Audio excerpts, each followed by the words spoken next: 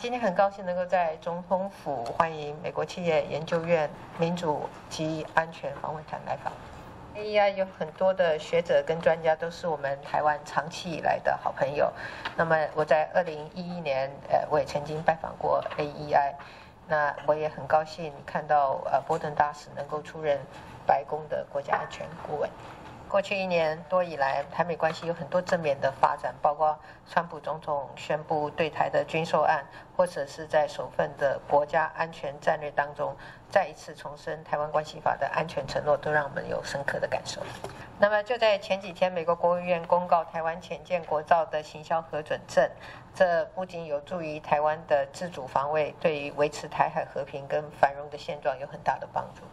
那么台美之间的合作，呃，不仅是在国防上，在经贸上也有很多的互动。不论是选择美国投资高峰论坛，或者是农产品贸易友好访问团，都持续的在推动当中。要再一次的强调，台美双方有一致的战略利益。那么台美呃关系的稳健发展，则是印太区域保持自由开放不可或缺的基础。那么台湾有充分的信心来维持这个区域的和平稳定。上个月，呃，台湾旅行法已经正式生效，我相信台美关系将会持续的升温。那么，我们将持续跟美国政府保持密切的沟通，透过互惠互助来达成合作双赢。那么，我也希望，呃，长期关心台湾的普雷克资深副院长以及各位好朋友，能够提升提供我们更多的建议跟呃协助。